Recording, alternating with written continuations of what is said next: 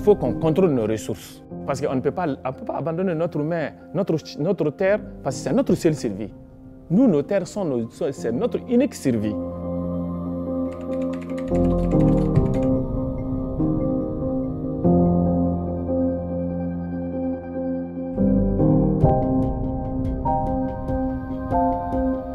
Para nosotros del movimiento y para nosotros los campesinos y campesinas, indígenas y quilombolas de Brasil, eh, las principales luchas están en términos de la tierra, tanto del acceso a la tierra, quanto a la defensa de la poca tierra que temos.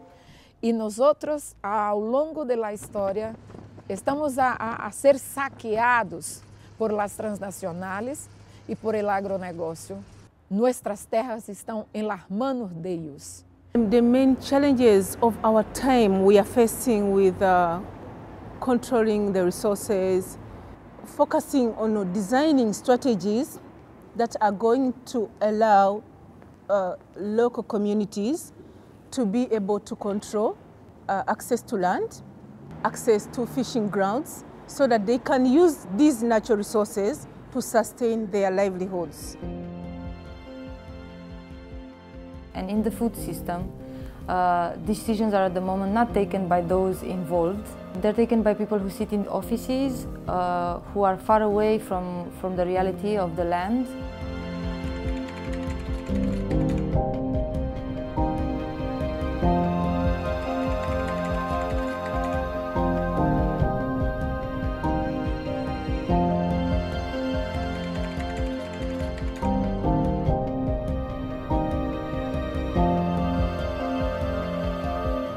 Communities are now realizing that what is being put forward for us for, as a means of production, as a means of sustaining livelihood, is not for us.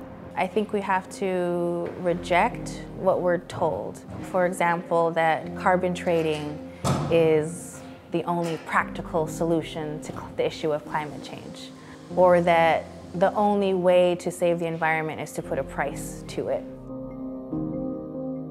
The concept of the blue carbon funds, same like REDD, is talking about how expand the market.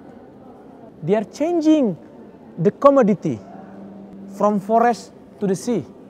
And then at the same time, they're talking about how to conserve with sale the resources. We try to uh, place the interests and needs of people into the center of our agriculture and food system instead of putting profits and the interests of transnational corporations. The solutions are those that are based in life, continuity of life, not money and profits and more profits. The solutions are life related. That is when you come up with the real solutions.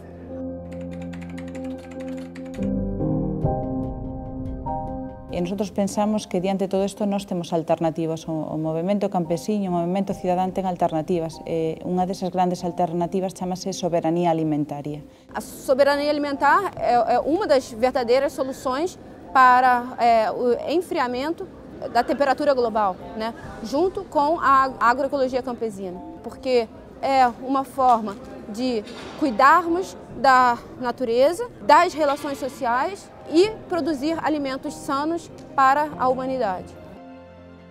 Quando nós falamos de, um, de construção de um projeto político pela soberania alimentar, todos os setores responsáveis pela produção de alimentos. Nós temos pastores, nós temos pescadores, nós temos comunidades indígenas e povos originários, comunidades dos bosques, comunidades de rios, é, trabalhadores migrantes. Todos esses setores são responsáveis é, é, pela, pela produção alimentar. The solution is uh, in the hands of uh, uh, people on the grassroots because uh, they are living uh, with the land and they are facing all the problems coming from the climate change and they are experienced enough to, to, to deal the thing and they know how to adapt, how to mitigate the impact of climate change.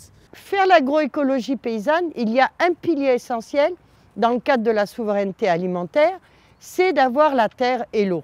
Parce que maintenant on parle du climat, on ne parle plus de la terre, Mais non, au contraire, c'est que la solution, c'est d'abord de gagner les luttes de la terre et de l'eau pour pouvoir faire l'agroécologie paysanne, pour pouvoir apporter des solutions au changement climatique, pour avoir de la justice sociale. C'est d'abord par ça qu'il faut commencer. We need to see people having access to land.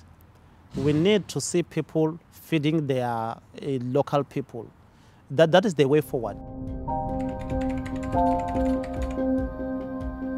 One thing which is very, very important, and uh, we recognize that nobody is going to give it to you. And there's a lot more of us than there are of those lobbyists. There's a lot more of us who want healthy, affordable food. There's a lot more of us who want to have a healthy planet and a global food system that we all believe in. But if we don't get together and make our voice heard to the powers that be, then they win. And it's just a handful of those bastards, basically. There's need for us to converge together and work together for our survival and the survival of this planet. Yes, and we are going to win.